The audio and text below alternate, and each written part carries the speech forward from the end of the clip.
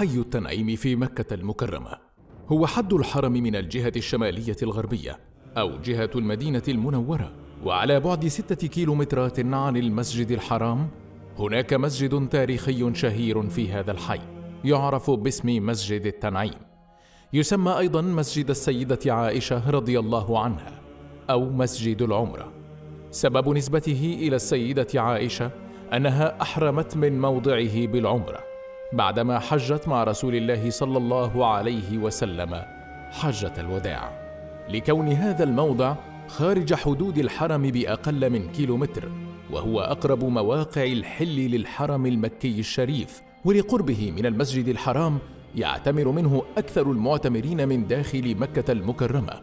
وهذا سبب تسميته أيضا بمسجد العمرة. بني هذا المسجد في عهد الخلافة الأموية. شهد العديد من التوسعات في العصرين العباسي والعثماني. رمم أكثر من مرة عبر التاريخ وفي بعض المراحل كان مهدما حتى صار المعتمرون يصلون ويهلون بالعمرة من أرض جرداء ليس بها أي بناء بل يخرجون فقط خارج حدود الحرم ليحرموا من هذا الموقع. ثم جدد في أواخر العهد العثماني في القرن الثالث عشر الهجري. أكبر توسعة وعبارة لهذا المسجد جرت في العهد السعودي واكتملت عام 1404 للهجرة أو 1984 للميلاد أو 1984 للميلاد.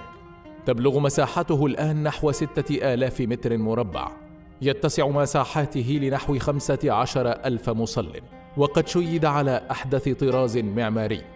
امتزجت فيه أنماط العمارة الإسلامية بأشكالها وزخارفها مع المعمار الحديث. يتميز المسجد بأبوابه ونوافذه المرتفعة. بلغت كلفة إعماره نحو 100 مليون ريال. تحيط بالمسجد ساحات واسعة لوقوف السيارات وحدائق يجري الاهتمام فيها بعناية. وتبلغ مساحة ملحقات المسجد من الساحات والحدائق نحو ثمانين ألف متر مربع.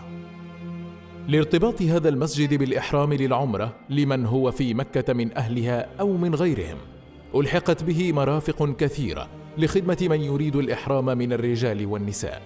ولذلك فإن مسجد السيدة عائشة في حي التنعيم لا تتوقف فيه حركة المعتمرين طيلة العام وخاصة في المواسم وتظل أبوابه مفتوحة سواء لمن يأتي إليه بقصد الإحرام للعمرة أو لمن يزوره مستحضرا جانبا من وقائع السيرة النبوية في حجة الوداع.